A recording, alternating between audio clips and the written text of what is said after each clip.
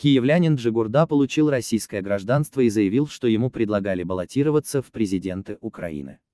До этого он был гражданином Украины, который предал родину и встал на сторону врага, поддерживая оккупационную и террористическую политику Кремля.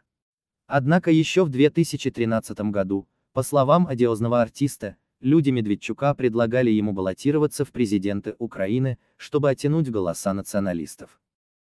Сам предатель Украины утверждает, что выиграть выборы ему не позволили бы, однако от предложения он не отказался.